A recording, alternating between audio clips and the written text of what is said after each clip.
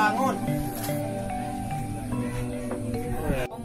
Ya, hari ini kita kembali melaksanakan kegiatan di Wangun, Desa Pasir Mulia, di mana kita menikmati hasil alam dari Wangun di sini yaitu berupa kopi dari Wangun dengan racikan tradisional dibuat dengan tangan yang handal menghasilkan aroma kopi yang luar biasa. Kopi apa teman-teman? Kopi Wangun.